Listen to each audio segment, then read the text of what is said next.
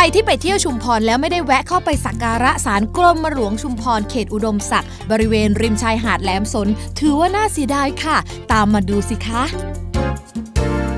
ศาลกรมหลวงชุมพรเขตอุดมศักดิ์นั้นสร้างเป็นรูปเรือรบหลวงจากกรีนฤเบศค่ะ เรือจำลองกว้าง 29 เมตร ยาว 79 เมตร สูง 6 เมตร เป็นขนาดที่ย่อส่วนจากขนาดเรือจริงประมาณ 2 ใน 5 ค่ะายในเรือนะคะ จัดแสดงพระประวัติพลเรือเอกพระเจ้าบรมวงศ์เธอ กรมหลวงชุมพรเขตอุดมศักดิ์ผู้ทรงวางรากฐานให้แก่ทหารเรือไทย ส่วนบนดาดฟ้าเรือซึ่งมีรูปปั้นของพระองค์นั้น เมื่อมองลงไปเบื้องล่าง ก็สามารถชมทิวทัศน์ของชายทะเลปากน้ำหลังสวนได้ค่ะมาเที่ยวชุมพรเมื่อไหร่แวะสักการะศาลกรมหลวงชุมพรเขตอุดมศักดิ์นะคะ